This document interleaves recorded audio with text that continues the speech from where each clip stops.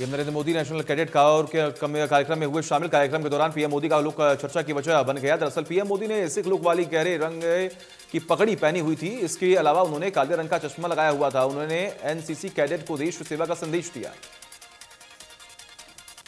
Supreme court ने महाराष्ट्र में BJP के बारह विधायकों के निलंबन को रद्द कर दिया। सुप्रीम कोर्ट ने इस बारे में कहा कि महाराष्ट्र विधानसभा का यह फैसला असंवैधानिक है। इन विधायकों का निलंबन सिर्फ़ उस वक्त चल रहे मानसून सत्र के लिए भी हो सकता था। देश में नहीं बदलेंगे एस सी के प्रमोशन में आरक्षण के मानक सुप्रीम कोर्ट ने केंद्र को रिव्यू का डेटा जुटाने के दिए आदेश। का प्रमोशन में आरक्षण के दौरान दलितों को उचित प्रतिनिधित्व मिला या नहीं, सरकारों को करना चाहिए इसका रिव्यू हरियाणा में दो नए सूचना आयुक्तों की नियुक्ति पर मुख्यमंत्री मनोहर लाल ने ज्योति अरोड़ा और पंकज मेहता को दिलाई पद और गोपनीयता की शपथ। राजभवन में आयोजित हुआ समारोह। करनाल पहुँचे कैबिनेट मंत्री कमल गुप्ता ने कांग्रेस पर हमला बोलते हुए कहा कि कांग्रेस घोटाले और भ्रष्टाचार की छननी है, जिसमें सत्तर छेद हैं। बीजेपी सरकार ने पेपर लीक मामले में कड़ी कार्रवाई की। कांग्रेस राज्य में हुई भर्तियों को कोर्ट ने खारिज किया था, जिससे हज़ारों लोगों की नौकरियाँ गई। यमुनानगर के विधायक घनश्याम दास अरोड़ा ने सिविल अस्पताल में महर्षि सुश्रुत की प्रतिमा का अनावरण किया। वही उन्होंने अस्पताल की पार्किंग का भी उद्घाटन किया। इस दौरान सिविल सर्जन डॉक्टर विजय तैया ने कार्यक्रम की अध्यक्षता की। आज घोषित होगा स्टेट का परीक्षा परिणाम अठारह और उन्नीस दिसंबर को दो सौ इक्यानवे केंद्रों पर एक लाख सतासी हज़ार नौ सौ इक्यावन अभ्यर्थियों ने दी थी परीक्षा। हरियाणा पुलिस की शानदार कार्रवाई सामने आई है। दरअसल पुलिस ने चार हज़ार एक सौ तिरासी करोड़ की कीमत के लापता मोबाइल फ़ोन बरामद कर लिए हैं। वित्त मंत्री निर्मला सीतारमण एक फरवरी को सदन में आम बजट पेश करेंगी। ऐसे में वल्लभगढ़ की गृहिणियों को उनसे काफ़ी उम्मीदें हैं। देश में धीरे धीरे कम होने लगा है कोरोना संक्रमण। 24 घंटे में दो लाख इक्यावन हज़ार से अधिक केस आए सामने। देश में एक्टिव केस की संख्या 21 लाख के पार। हरियाणा में नहीं थम रही कोरोना की रफ्तार। एक दिन में पाँच हज़ार सात सौ सत्तर नए केस किए गए। दर्ज अठारह मरीजों ने गवाई जान एक्टिव केस पैंतीस हज़ार के पार। यमुनानगर जिला भी उन जिलों में शुमार हो गया जहाँ सौ प्रतिशत कोरोना की पहली डोज शत प्रतिशत लगाई जा चुकी है। कोरोना वैक्सीनेशन को लेकर एसडीएम नूसलोनी शर्मा ने अपने कार्यालय पर स्वच्छता विभाग अधिकारियों और मुस्लिम धर्मगुरुओं के साथ बैठक आयोजित की।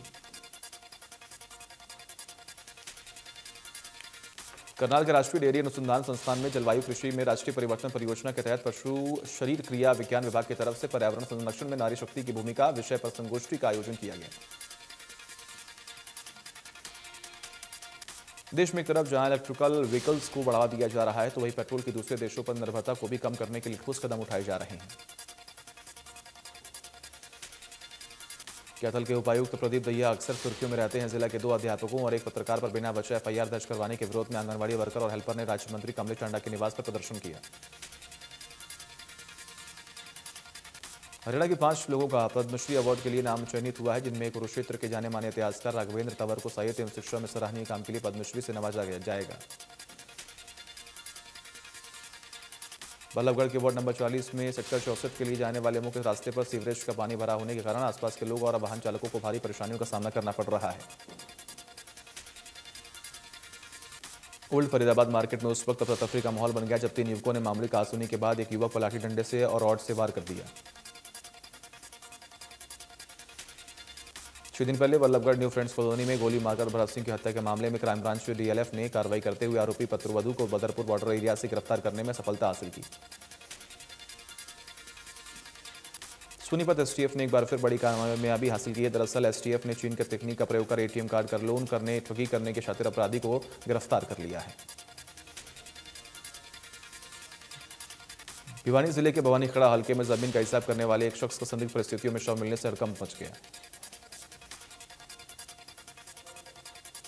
हांसी शहर में देर रात एक बड़ी घटना सामने आई। दरअसल एक बैंक सर्विस सेंटर चलाने वाले शख्स का पैसों से भरा बैग दुकान के बाहर से संदिग्ध परिस्थितियों में गायब हो गया।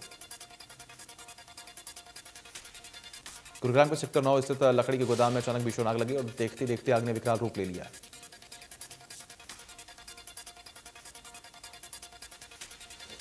गोला में के उपमंडल टटियाड़ा गाँव के आचार्य रामानंद जी की जयंती और संत जानकी जीवनदास जी की पुण्यतिथि पर मंदिर ठाकुर द्वारा धर्मार्थ ट्रस्ट टिटियाड़ा में रामायण पाठ और भंडारे का आयोजन किया गया।